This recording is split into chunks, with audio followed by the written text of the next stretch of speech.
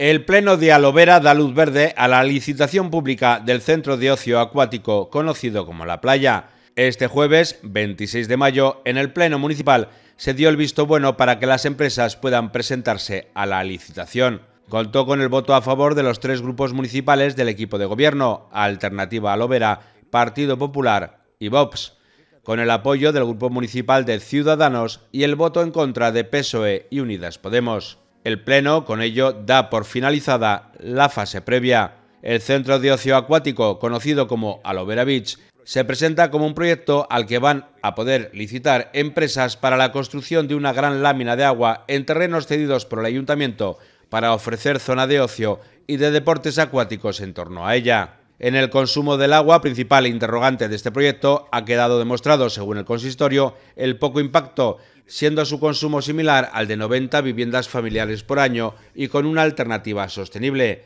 ya que en caso de optar por la vegetación propia de zonas verdes, supondría el doble de gasto de agua, siendo además objeto de mantenimiento el agua con 100 veces menos de productos químicos que una piscina al aire libre. El resultado es el primer centro de este tipo con un destino de uso público, aunque la gestión sea privada, que fomenta durante todo el año actividades deportivas y de ocio en el municipio y que permitirá recibir visitantes para su disfrute y además generará más de 150 empleos directos y muchos indirectos en la localidad y en la comarca. El centro no tendrá ningún coste para las arcas municipales ya que la construcción la asumirá el licitador, generándose un centro novedoso y con beneficios para el vecino, con una concesión de 40 años pagando un canon al ayuntamiento por uso de los terrenos cedidos. La gran lámina de agua con zona de arena simulando a la playa marítima permitirá el uso para deportes náuticos y escuela de navegación.